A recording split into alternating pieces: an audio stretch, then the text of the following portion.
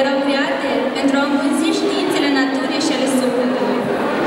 Există cântece pentru fiecare sentiment omenesc. Există cântece ale soarelui și ale apelui, cântece care vindică și învață.